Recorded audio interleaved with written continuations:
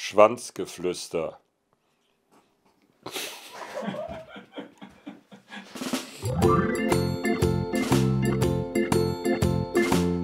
Hallo, moin moin, guten Tag.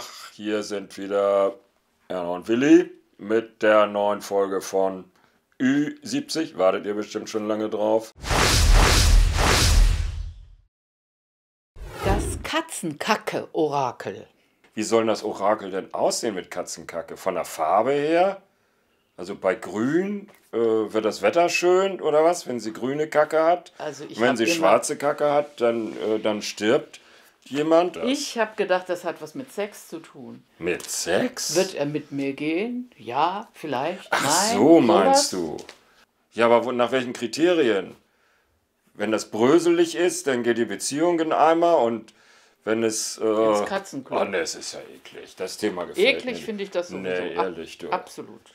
Schwanzgeflüster.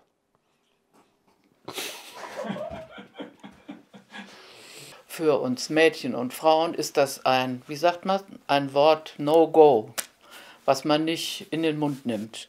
Absolut nicht. Also als, als Das Wort schon gar nicht. Kind oder Jugendliche, da, da hat man vielleicht gesagt, da unten rum oder sei, Ja. sein Ding da. Ja, ja, das stimmt. Also meine Gedanken gingen in eine ganz andere Richtung.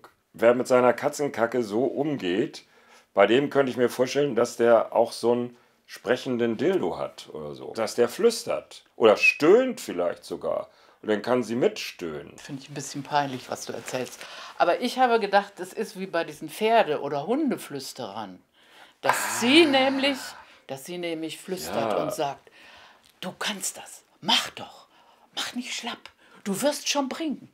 Klar, ein Schwanzflüsterer. Nein, eine Schwanzflüsterin. Eine Schwanzflüsterin.